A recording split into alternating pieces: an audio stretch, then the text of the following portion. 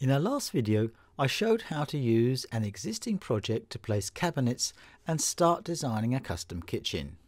In this video, I'd like to show how to add a worktop and plinths to our project. Here is the kitchen project design in our last video. Let's add a worktop that will cover all the base cabinets.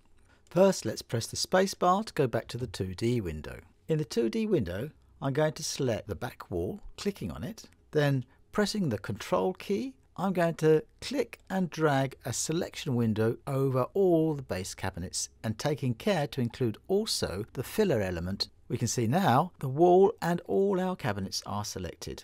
I'm now going to click the right mouse button and in the menu select Create a Countertop. Polyboard has now opened the surfaced drawing editor and we can see that it's automatically drawn a worktop over all our cabinets and up against the wall. We can see the plan view and we can see it in the 3D view selected green. Properties of my worktop are actually in its properties list on the right hand side. We can see that its material is actually a glass material but let's change that material and set it to another material that we have in our libraries. I'm going to click on the glass material and in the drop down list I'm going to select generic 0380, a generic quick design material.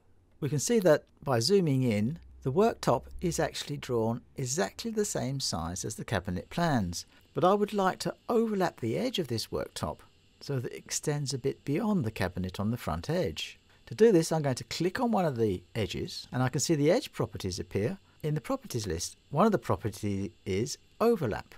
I'm going to change the zero overlap to 30 and we can see that Polyboard has automatically added an overlap onto that edge of our worktop. Let's do the same for the other edges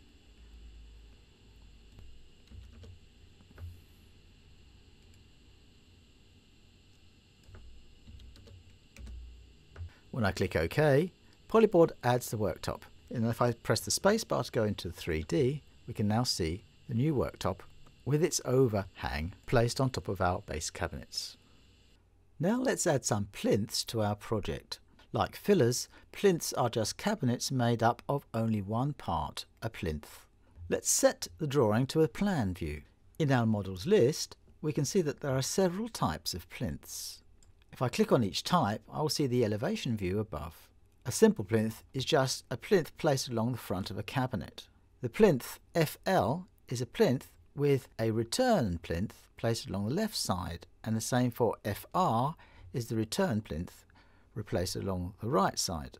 Plinth times 3 has both left and right plinths on it. Let's take the simple front plinth and click and drag it onto our drawing we can see that the plinth will try to snap from the front and from a virtual back because it is in fact a cabinet. If I just place it onto our drawing, I want to set this plinth to the total length of my base cabinets along the back of my wall here. First let's measure the total length between this wall and this wall. I'm going to take the horizontal measure tool, click on this wall, the other wall, and we see here we have 3 meters. Let's put this as a permanent dimension on our drawing by clicking right and clicking permanent dimension.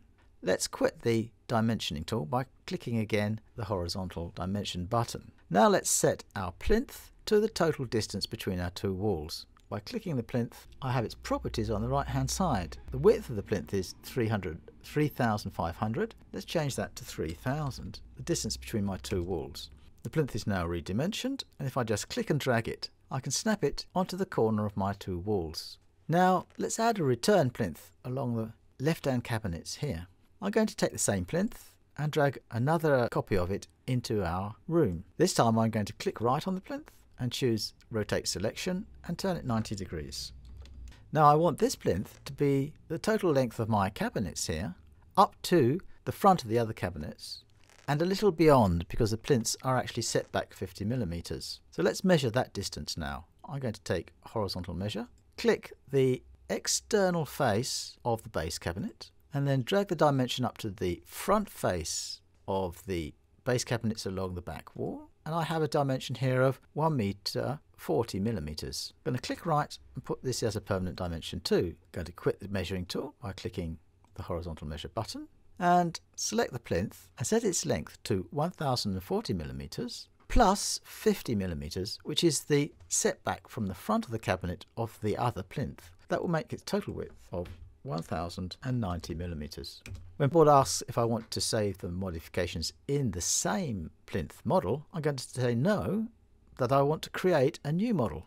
And this time I'm going to create a new model plinth and I'm going to call this plinth 1090. We can see the plinth has been redimensioned and I can now snap it again onto the outside of my cabinet here. Note that I'm snapping it to the left hand side of this cabinet and it will now line up perfectly up against plinth I placed in previously. Let's have a look at our 3D now.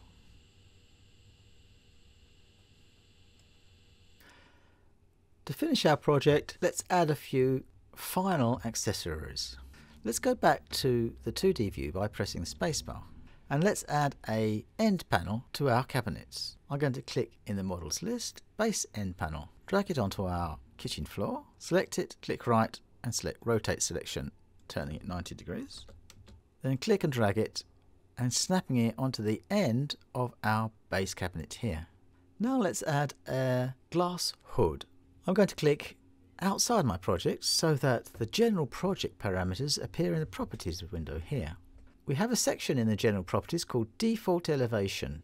I'm going to set default elevation to 1400. I'm now going to models list and choose the glass hood model.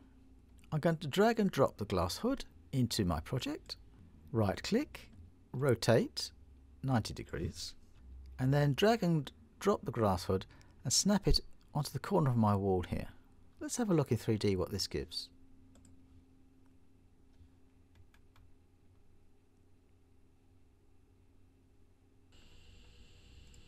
To finish our example project, let's just add a cooker top underneath our glass hood.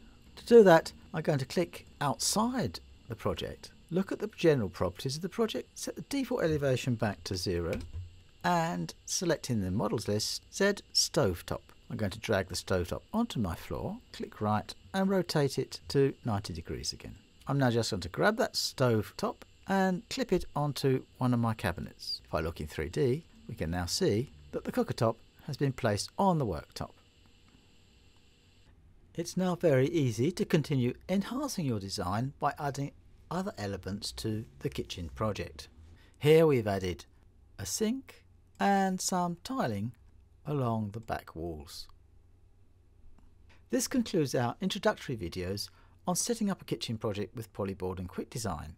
In our following videos we will show you how to change this design very quickly using our quick design libraries. Thank you for looking.